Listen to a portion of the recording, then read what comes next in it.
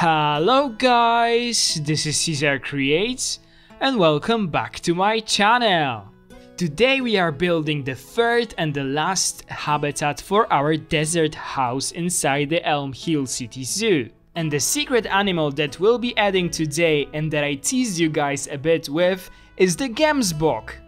Yeah, when we started this house, I told you guys that we'll be adding one animal from the base game to this house. I didn't want to like uh, reveal all of my plans, so you had something to like wait for and anticipate for, like uh, this animal reveal. It wasn't too difficult to guess. Uh, some of you actually guessed it in the comments uh, that we'll be adding the Gemsbok. Uh, there are not many uh, desert animals in the base game. Uh, we only have like a Bactrian camel, the Gemsbok, uh, the Aardvark, and that's basically it, I think. I think that also African elephant, African wild dog, and the springbok are like happy with the the desert biome, but they are not like those staple desert animals. So uh, obviously, I didn't want to add them here to the desert uh, house. Uh, so yeah, the Gemsbok uh, was uh, my animal that I wanted to add here from the very beginning. We already have Bactrian camels in the zoo, we also have the aardvarks here, uh, and we still didn't have Gemsbok and I love those animals. I love them from the very beginning and I think that they are super super underrated in this game like uh, in the Planet Zoo community. Not many uh, like very fancy uh, habitats are built for them. From what I've seen on the you know uh, Planet Zoo uh, forums, Planet Zoo uh, Facebook groups, when you guys share your creations, also the Reddit. There are not many like very nice uh, habitats for Gemsboks. Also, other content content creators they don't record many videos videos with them. So yeah, today I wanted to focus on them, build something very, very nice for them and something that will actually like uh, be uh, matching our desert house and the habitats that we've already built uh, so that we get this like uh, big cohesive desert area in our zoo uh, so yeah, we'll have meerkats, fennec foxes that we've built the habitat for last time. By the way, if you haven't seen that video, uh, definitely go and check it out. I will put the link down in the description and on the screen because I really love uh, how the uh, fennec fox habitat has turned out. I think that it is even better than the meerkat one. I don't know why. I just simply prefer prefer the fennec fox habitat. I think it's because of this ancient ruin thing that we did. So yeah, definitely if you haven't seen it, uh, go and do it. And yeah, today we are focusing on the lovely Gemsbok uh, or Oryx antelope as they are also called. There are not many zoos in Europe that actually have Gemsboks. Uh, I just found out when I was looking for inspiration for this habitat. Uh, there are, there's a herd of Gemsbok in uh, Lisbon Zoo uh, in Portugal. I also found the zoo to be very beautiful. Uh, I looked through many pictures of that zoo and uh, this habitat is sort of like inspired by the Gemsbok habitat in Lisbon, but mixed with the Addax antelope uh, habitat in the same zoo. Because when I saw the Addax uh, antelope, by the way, I wish we had those antelopes in the game because they are simply stunning. Uh, when I saw this uh, habitat, I thought that it is a, such a cool idea to do something like this. I never did it like uh, before so i wanted to try it i mean it is like a slope but this like gradually going coming down slope uh, with uh, those terraces or something i'm not sure how it is called but you know those like stairs or something in the ground that uh, you know you have those supporters or something that it is holding like the whole slope and the soil and preventing it from sliding down and it creates like those you know steps or stairs inside of the terrain uh, it was used uh, it was like built with the planks and so on and i decided to use the new uh, beams from the africa pack because in this desert house i focused to use as many uh, you know new pieces as i could. So I thought that it would look cool. And yeah I really love how it has turned out.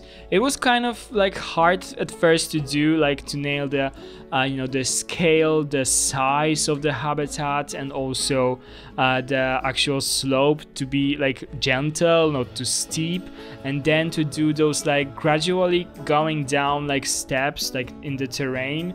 Uh, you know you cannot really do like the sharpest uh, you know terrain changes. In planet zoo there's always this like a bit annoying piece of terrain uh, that is always left. So it is not like perfect but i still love how it is looking. Uh, of course i wanted to look i wanted it to look a bit like a desert so it is the whole terrain is sand and we have those like supporting um, parts that are holding the terrain and uh, because of it it is looking like you know the terrace thing like going down. And yeah i really, really love how it has turned out and I really hope that you guys are able to understand what I am talking about because it is so hard for me to like uh, explain this uh, this thing, this terraforming like style or something. I'm not really sure how it is called. If you know like how those things are called, please comment down below because I have no idea.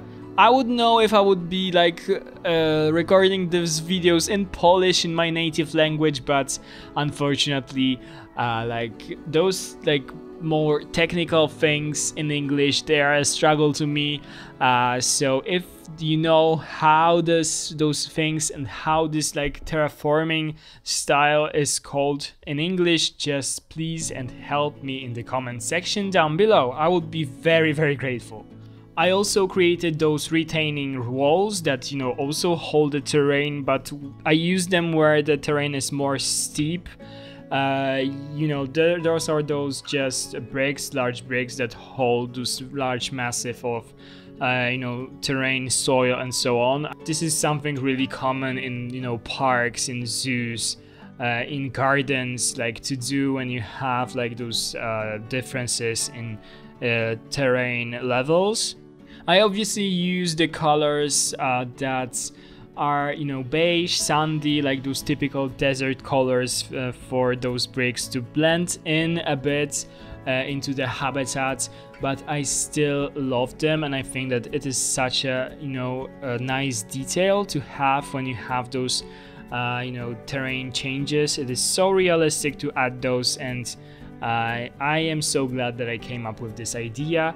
Of course, you will be able to see how well they look at the end of this video in the cinematic shots. So please stay till the end because uh, you know there will be some really nice views from this habitat if you would like to see them. As you can see, I already started to work on the fence of this habitat. I again wanted to use those new beams from the Africa pack. I love them so much. I think that they are so versatile. You can use them for so many things like fences, decorations, like build with them. So yeah, they are so great and also I love that how we can change the color of them. Uh, you can make those patterns more visible or less visible and this is simply amazing. So yeah, I wanted to use them uh, for a fence. Uh, in fact, uh, you know, I wanted this um, habitat, like this fence, to be only uh, transparent in the places where guests actually observe the animals. So um, like in the back the fence won't be like see-through at all. We ha will have a lot of trees behind the habitat. Uh, so the whole uh, fence will be made with those uh, new beams and also a fabric material just as we did with the uh, kangaroos. And you know uh, you guys really seem to like this idea judging by all by the comments uh, how you enjoyed this fence so uh, thank you for that. And yeah now we are using it again here. You'll be able to see it in a minute. Uh, but yeah, I really like the fence for this habitat. And I'm glad that I, you know, took some uh, additional time to uh, really focus and do it well this time. And now it is time for a little reminder. As I told you guys in the last video, I will remind you about it a lot. Uh, so on the next weekend we'll have the Cangothon 2021 and we'll be raising funds with the many many content creators that you guys may know, maybe you watch their videos as well. So uh, we are coming all together to raise money for the Cango Wildlife Park in South Africa.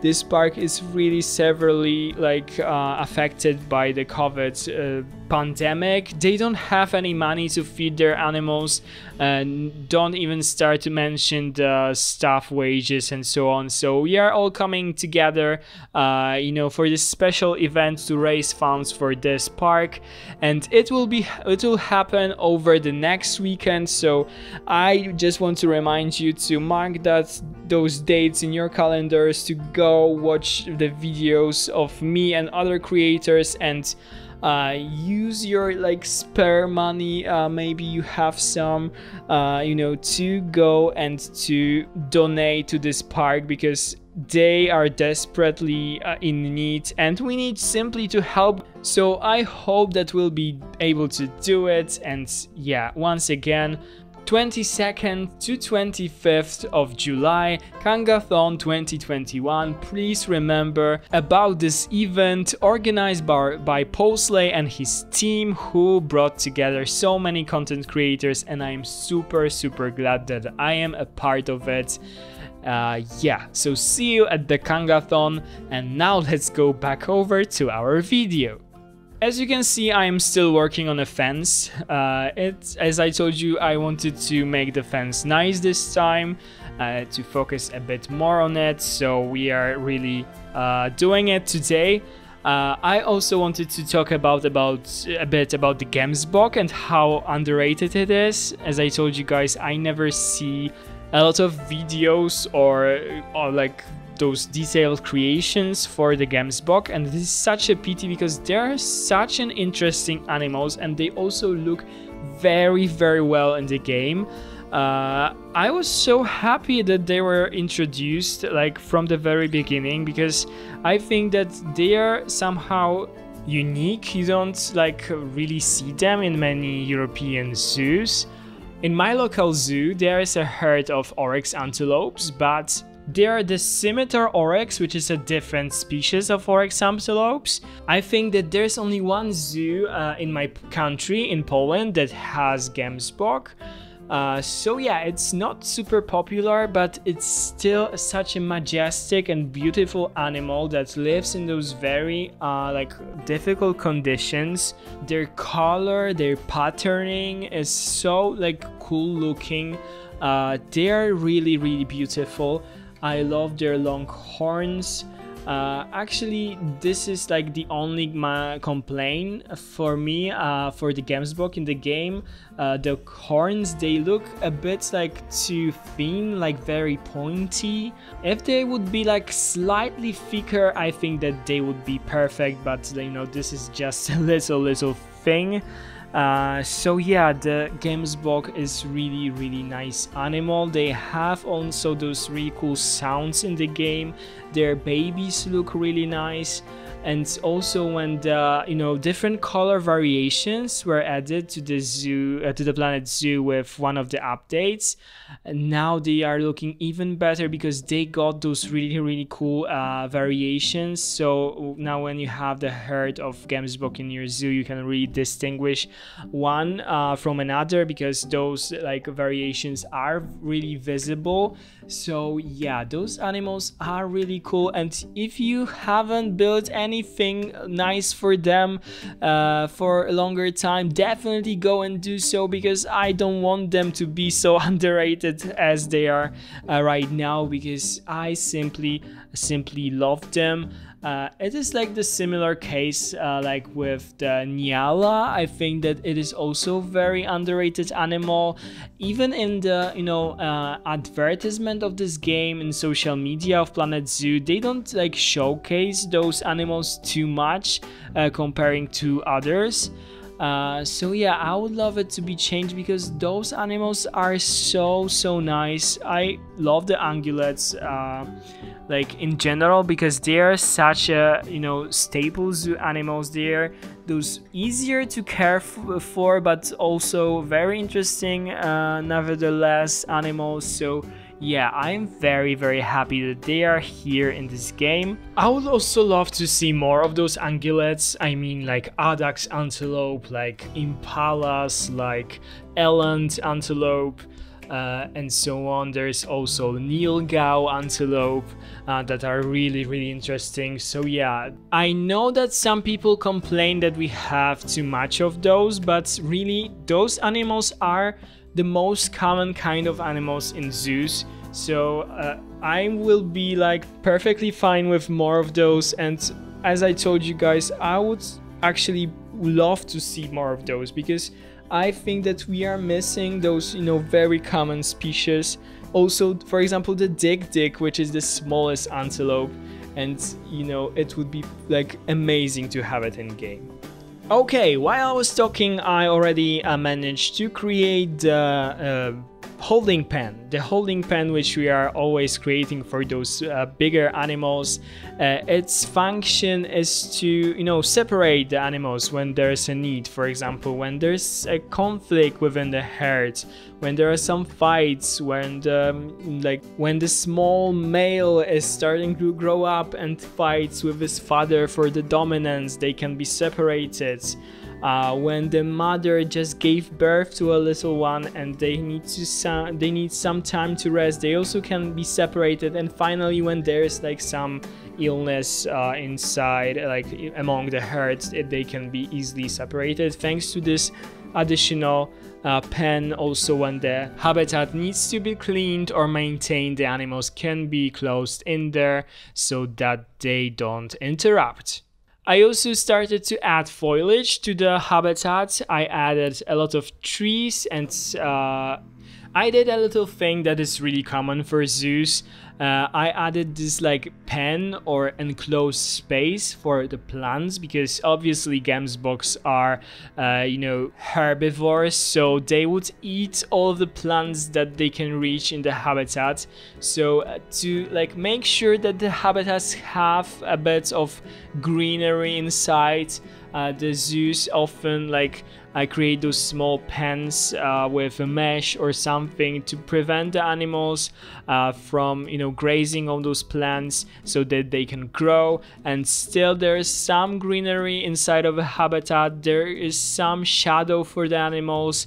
Uh, so yeah that's a nice way to to sneak uh, some green, some plants to the habitat uh, when you are building for the ungulates to make sure that they simply wouldn't uh, destroy all the plants. Of course, if you want to play uh, this game in a realistic way because obviously the animals in this game don't eat uh, the plants uh, but if they did uh, I'm sure that something like this would be really useful. I also uh, always add, as you can see, those protections for the trees, for the tree barks, uh, like to prevent the animals from biting the trees, from, you know, uh, grazing on the bark.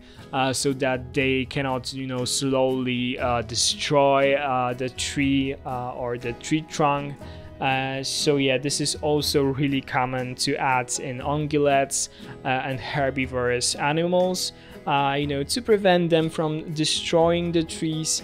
Uh, so I always try to add them here in the Elm Hill City Zoo to all of the habitats with animals like that. We did it for reindeers, for camels, for uh, you know antelopes. We already have like the pronghorn antelope in here and also did it uh, that way for them so yeah this is something that I like to use for the sake of some realism. In a second we'll focus on adding rocks uh, to this habitat and some little plants that are growing in the crevices of the rocks and you know that have like a chance to grow a bit uh, before they were eaten by the gemsbok or there are just species that the gemsbok doesn't like to eat so yeah, we'll be adding them uh, shortly uh, to their habitat. Uh, I will add some of the desert rocks and uh, some of those small aquatic rocks, but but I won't go too crazy because I still want uh, those animals to have a lot of space, you know, to roam around, to run, run uh, together as a herd. So, uh, yeah, we will be adding some of them, but not too much. And while I am doing it, let me give you guys some fun facts about the Gemsbok. They are really interesting animals and I really wanted to share with you some fun facts about them.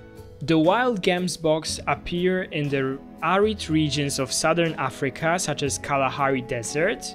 They live in herds from 10 to 40 individuals those herds, they uh, consist of dominant male and few non-dominant males and females. So actually you could have more than one male in one habitat, but in the game you could you can only have one, but you potentially could have more and it would be working.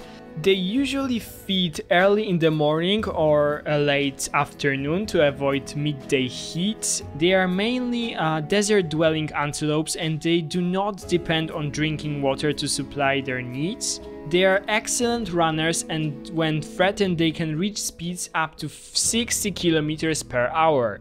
Gemsboks uh, consume grasses, shrubs, roots, uh, and supplement their water intake by eating wild uh, melons and cucumbers. They don't face major threats at the moment, but they are widely hunted for their spectac spectacular horns and uh, meat. Their numbers are high, so they are concerned as least concern uh, which is really nice to hear. Finally, some an animal that isn't endangered. So yeah, their spectacular horns can uh, be up to 85 centimeters. Some individuals have uh, their their horns even at the size of one meter or above. It is actually uh, the like easiest way to distinguish the two genders of Gemsboks uh, by their horns. The females have slightly longer and thinner horns and the females use them mainly to protect the themselves and also their uh, children from the predators like uh, lions uh, the males mainly use them to fight for dominance within the herd. When the female gives birth to the calf, it will actually hide it for about 3 to 6 weeks, uh, taking care of it and protecting it from the predators. Uh, it will remain nearby uh, to the calf, uh, like nursing them. Uh, they uh, have this special brown color to camouflage themselves, I mean the uh, little ones. So when they lie uh, on the sandy dunes or you know between the rocks, they're like barely visible because of this color. The Gemsbok actually lives in the USA, which is very interesting. It was introduced to the United States in 1961. 93 uh, of them were released in the New Mexico, uh, in the United States, and now it is estimated that there are around 3,000 of them living uh, in the United States because they lack, you know, uh, their natural predators in there, so they thrive, they breed, and uh, the population is growing strong. So unfortunately, one of the tourist attractions in New Mexico is going, uh, you know, to hunt for them. You can like shoot and kill your own Gemsbok. I am totally against, uh, you know, hunting, uh, you know, killing animals for fun. Uh, but yeah, it, when you're in New Mexico, you can go and hunt your own Gemsbok, just in case you like want to do it. But uh, please, please don't don't do it. It is like cruel and it's not fun to kill other animals for your own entertainment. Yeah, that's just cruelty. In a minute, I will start to work on the shelter for the Gemsboks. Uh, I wanted to use again a lot of materials from the new Africa pack, so I'll be using those new arches, plus the arches uh, from the new pack and also again a lot of do those new uh, beams. I think that in the end it looks so cool. It looks like this typical desert uh, you know building style that I was going for and I think that it looks just like it. Uh, inside of the shelter we'll have the stalls for the Gemsboks so you know there will be one big one for the entire herd to sleep and there will be like one separated uh, that will be like you know not too visible so that when the animals want to have some privacy they can go there or if they there's a case that they won't need to be separated they also uh, potentially could be. Because the guests actually will be able to like look inside of the shelter look as the Gemsbok are sleeping in there or just chilling. Uh, I just found this idea in the uh, I think it is called Sahara House uh, in the Wrocław Zoo in Poland.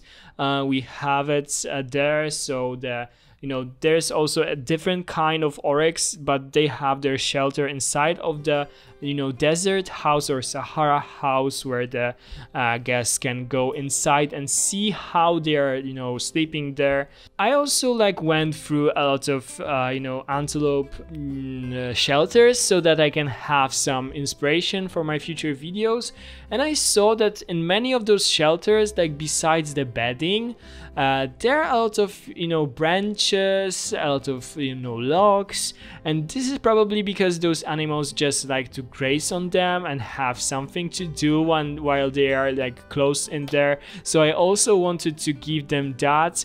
Uh, they'll have some branches and so on. Obviously they won't use it, but this is something just uh, solely for your and my imagination. Uh, so yeah, don't be surprised when you see some of the logs laying inside of their shelter.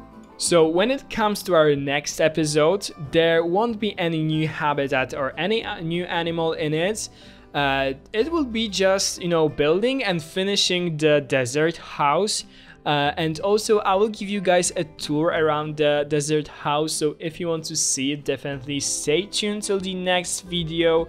Uh, because you know we will be doing some detailing inside and also some really fun things outside of this building uh, I will do something interesting, I think, with the plants. So uh, definitely go and check it out next week. I think it will be live on Wednesday if I will have time to record the voiceover because I already like finished uh, it, finished building, and I am super super happy with how the desert house looks. How uh, you know the entrance and the entrance area and the whole interior of it looks uh, I in in the real life I would love to go there and you know uh, experience something like this. So yeah I hope that you guys will enjoy it. Also so stay tuned uh, stay tuned till the next week after we'll be done with our desert house, I think that uh, we will do like three or four more habitats in the zoo and this will be the end of season 2 of the Elm Hill City Zoo and we'll do a tour once again of everything that we've built in here.